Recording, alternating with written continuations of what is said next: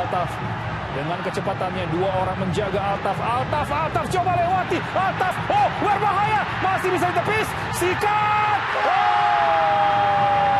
Rio, Rio, Rio, Rio, Rio, Rio. Hampir tadi Rio.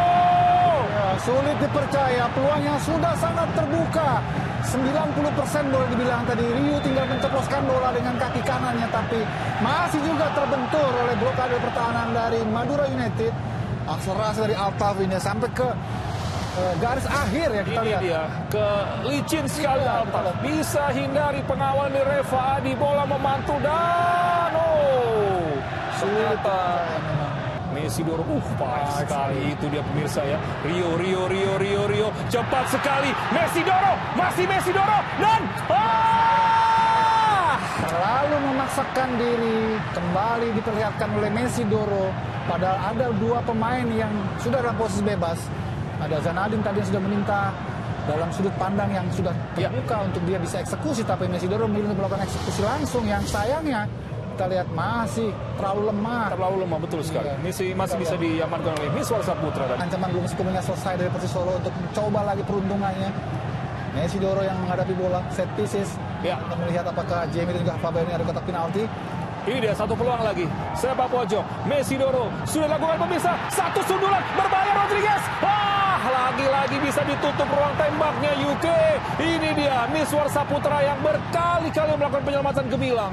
Luar biasa memang ini. Kalau ada man of the match pertandingan selesai di menit ini, Win mungkin Miswar Saputra yang terbaik ya. Bagaimana dia antisipasinya, posisinya juga selalu tas. Oh, umpan terobosan coba dikejar kali ini. Messi Doro, Messi Doro, Messi Doro! Go, go, go, go, go, go, go!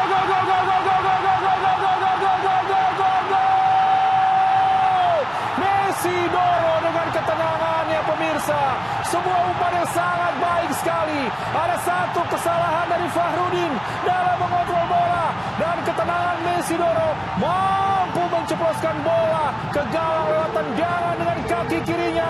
Persis Solo unggul 1-0. Biasa ya. Kita lihat tadi baru dibicarakannya. Upaya terus dilakukan, usaha terus mereka perbuat untuk bisa membongkar pertahanan dari Madura. Dan akhirnya di menit ke-80 ataupun ke-79 tadi, lewat umpan vertikal dari pertahanan. Jamerson tampaknya melakukan bola vertikal dan bola itu melengkung, mendatangi Messi Doro dengan kecepatannya dan dia bisa menutup paru dengan baik. Dan eksekusi yang begitu dingin, akhirnya Persib bisa membuka skor di akhir pertandingan ini. Kita lihat bagaimana duel terjadi dan Ya.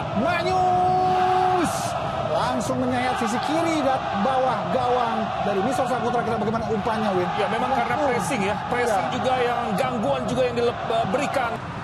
Kembali kita lihat umpan panjang kali ini pemirsa. Berbahaya coba diganggu lagi oleh Nah. Rodriguez Arif! Oh, Hati-hati ini dia masuknya Samsul Arif. Betul-betul mampu meningkatkan intensitas dan juga peluang berbahaya dari Persis Solo. ya dan Kita lihat. ya Rodriguez memberikan space ya untuk Samsul tadi